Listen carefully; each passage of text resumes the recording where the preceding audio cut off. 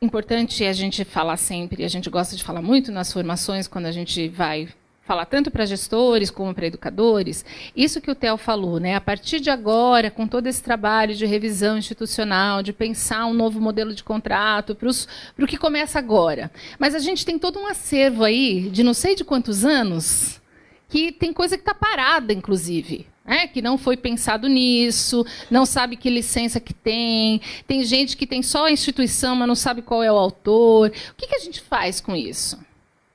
A gente põe, a gente usa, a gente publica, gente. Nós temos que publicar. Não tem muito o que fazer. Não dá para a gente não fazer. É melhor arriscar, é melhor fazer. Se o autor vier atrás, a gente explica. Se a gente conseguir comunicar com o autor, melhor ainda. Porque é um uso aberto que a gente está pretendendo fazer. Vou dar um exemplo para vocês da Secretaria Municipal de São Paulo. Quando foi lançado o decreto, São Paulo tem um decreto municipal, que foi o executivo que implementou.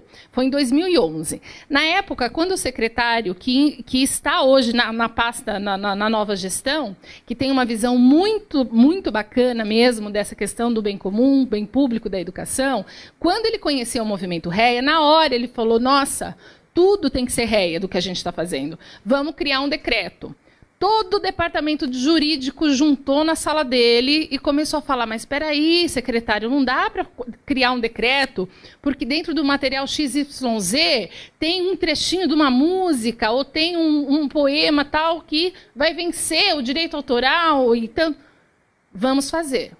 Vamos fazer. Vamos fazer, eu quero ver se alguém vai processar a Secretaria Municipal de Educação, porque nós estamos colocando isso abertamente. Até agora não aconteceu. Desde 2011, o decreto está aí. Foi uma ação, é uma ação de gestão, né, gente? Que tem uma hora que a gente tem que fazer. Claro que a gente começa a consertar de agora, ajustar de agora, mas tem todo um legado que não dá para perder, que foi investimento público nisso.